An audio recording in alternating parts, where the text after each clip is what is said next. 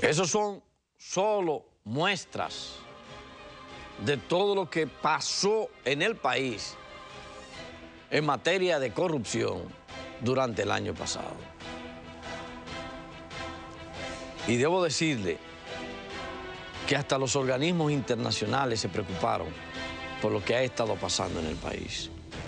Y lo que es peor, nadie dice nada y nadie hace nada. No hay una sola persona sometida por corrupción. Una sola persona sometida a corrupción.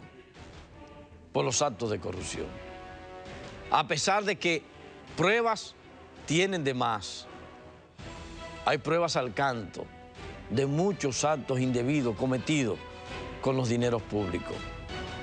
Y aquí no se ha mencionado. Todo lo contrario. La impunidad está llevando a que se cometan más actos de corrupción. Porque nadie es sometido. Porque ni siquiera a nadie se le llama la atención. Se le cambia de puesto. A la Higendrina Germán la nombraron secretaria de Estado de la Mujer después de lo del desayuno escolar. Reinaldo Pared Pérez canceló 30. Y cuando uno averigua, se encuentra con que lo que hicieron fue que cambiaron la cédula y pusieron otra familia.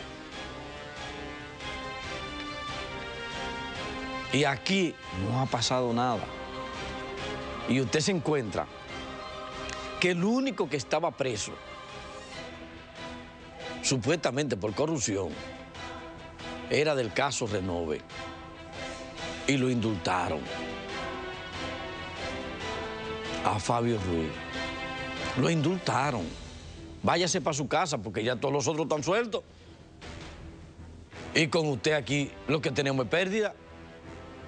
Porque esa celda se necesitaba ahora para otro caso. Se la dieron a Eddie Brito. Entonces, usted se encuentra con la impunidad en todos los casos y la denuncia de corrupción. Y a veces uno no sabe, frente a la corrupción, cuál es la actitud que va a tomar. Porque tras un caso viene el otro y viene el otro, y cuando usted cree que las cosas ya están pasando, se destapa otro caso más. Porque el próximo caso sucedió en el año pasado y lo vamos a presentar en este año de otro secretario de Estado metiendo la mano en los cuartos públicos. Continuamos con el programa.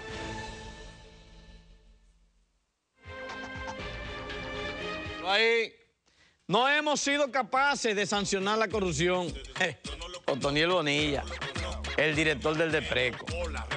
No hemos sido capaces de sancionar la corrupción. ¡Qué cachaza! Y él es que tiene que someter los expedientes. Y tiene 225 expedientes en su escritorio, en folder y en papeles, que lo tiene guardado él, él mismo.